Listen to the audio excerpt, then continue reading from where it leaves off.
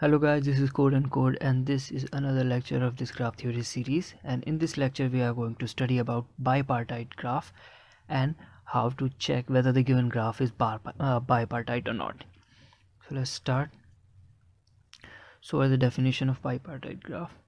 Bipartite graph also known as bigraph, a graph such that you can divide the vertex set into two uh, different sets such that each vertex belongs to exactly one of the two sets and uh, each edge connects vertices of two different sets. That is in the graph if there is an edge uh, in the graph all the sets uh, all the vertices we can divide those into two different sets and each edge must lie in the first or in the uh, second set. That is each edge must be part of one of the two set and each vertex must be in exactly one set. And if there is an edge then it must connect vertices of two different sets. So let's take an example. Suppose this is a given graph. Then I can define set A as 1 3 5 and set B as 2 4 and 6 I define two set it is not necessary that both the set contain the same number of elements. Uh, it is also possible that uh, one set contains all the elements and another set contains no elements at all. So it is all uh, also possible. Uh, the only thing that we need to keep in mind is that it must satisfy both condition. First each vertex must be in one of the two sets and second if there is an edge then it must uh, connect two vertices of two different sets so if I rearrange redraw the graph in this manner uh, keeping all the nodes which are in the same sets in one side. So we can see the set a elements are drawn here while set b set uh, vertices are drawn here. So you can see there is whenever there is an edge it connects the vertices from set 1 to set 2 there is not even a single edge which connects two element from the same set. You can see there's no edge which connects two nodes from the same set and hence it's a bipartite graph. Now how we can calculate it? One important thing you see here uh, instead of uh, since uh, the given graph in the given graph all we have to check is whether the given graph is bipartite or not. So we don't have to uh, uh, partition these into and save these vertices in sets all we can do is simply color them uh, with two different colors. That is why is this problem is also known as uh, two coloring problem. So all the elements which lie in one set would be given single color say 0 or 1 and another elements which lie in the another set can be given just opposite number. Uh, i mean uh, let's mark all these as 1 and all these as 0 so all these nodes are colored as 1 and all these nodes are colored as 0 so in the DFS call we would also what we would do eh, we would color or all the vertices which are not colored. So if the if any of the node is colored say 0 then the next node which is directly connected to it since they share an edge hence the next node must have a different color. If both of them having an edge between them if both two nodes are having the same color then it would violate the second condition that there should not be any edge between two nodes which lie in the same set. That is why if there is an edge then both of the endpoint must must be colored differently. So if the node is colored 0 then uh, all the nodes which are directly connected to it must be colored with color 1 so in the dfs call whenever uh, we make a dfs call to its child whatever color we have we would just invert it. If we have zero color then all the child must be colored one. If we have one color then all the child must be colored with zero. And in the dfs call we would pass the node as well as the color of that node. So this is the node number to which we land and this is the color of this node. So as soon as we land in any node what we do we mark it as visited. So we did here. And then uh, our col is the color array. So color of the node v is also set as c. C is either 0 or 1 now in the adjacency list of all the childs in the adjacency list of all the in the adjacency list sorry in the adjacency list of node v we traverse all the child one by one and if the current child is not visited that means it is not colored yet. So we would make a dfs call to that to that child and pass the color. So if the current node is having color 0 this is XOR operation in C++ so if the current node is having color 0 then uh, performing in XOR operation with zero, uh, with 1 it would become 1 and if it was 1 then it would become 0 basically we are inverting using XOR operation. You can also use NOT operation. So using this we can pass the color of the children directly without checking if else condition. Otherwise we have to check if c is 0 then pass 1 if c is 1 then pass 0 instead of doing that we can either uh, use a NOT operation or XOR. So I am using XOR operation to pass the color of the children from the current node. And what uh, as you can see this DFS returns a bool so this node would check all of his edges if even a single edge even a single edge of this node connects two nodes which are having the same color then it would return false indicating that this graph is not bipartite which we are doing here.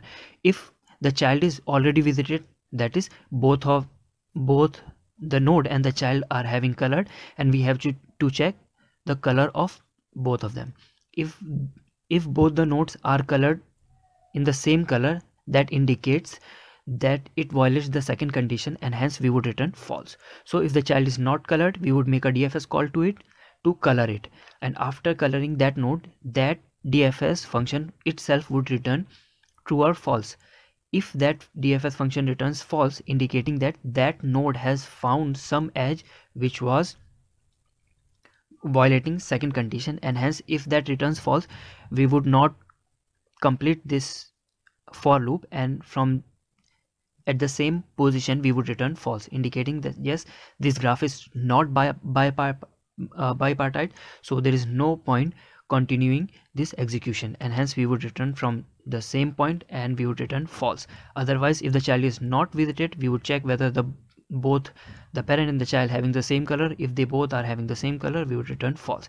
Otherwise if this adjacency list have been traversed successfully and we haven't found even a single edge which is violating the second case second condition hence we would return false.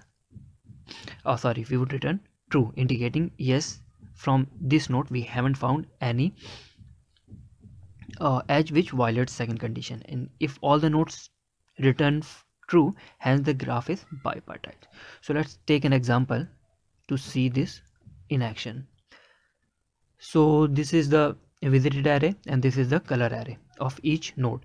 So in the main function and this is stack as all as you already know and this is the adjacency list of each node. So in the main function function we made a dfs call to 1 and pass the color as 1 so in the stack we have dfs1 now we are at node 1 we marked it as visited and also marked its color.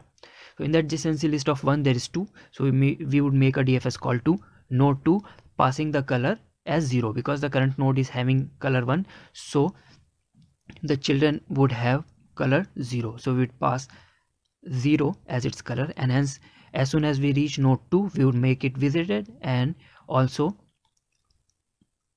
set its color to be 0 now in the adjacency list there is one. Uh, in the adjacency list of two since we are at node 2 and uh, dfs2 is currently being executed what whatever is in the top of the stack that function gets executed. So dfs2 is on the top and hence dfs2 is being executed. In the adjacency list of 2 there is one.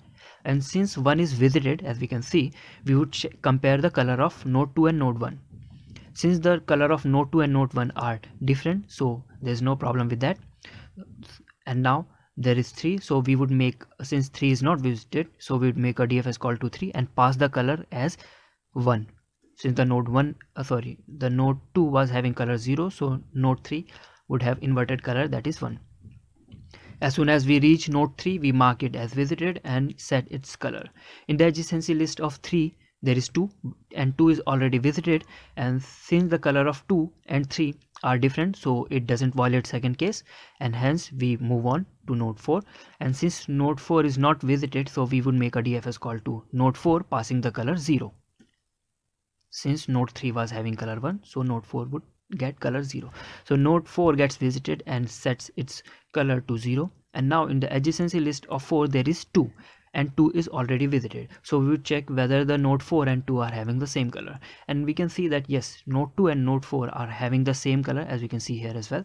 So this violates the second case and hence it would return false from here. There is no point continuing its execution. So from this point it would return false.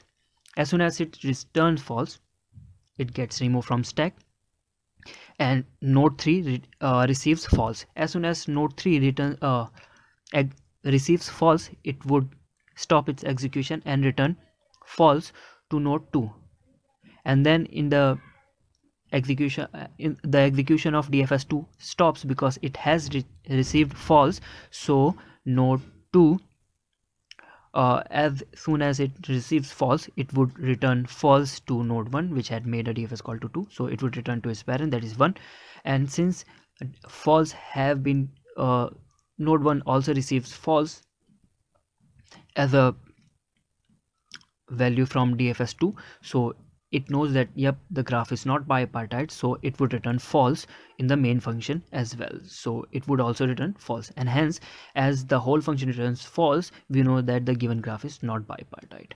And the special thing about bi bipartite graph is that if there exists a, a cycle of odd length we can see it is a cycle of length 3 if there is, exists a cycle of le length odd then the given graph is not bipartite. While the even length graph are or, or can be bipartite. So since it contains a cycle of odd length hence it is not bipartite. So let's look at the code again. As soon as we reach any node we mark it as visited and set its color to C.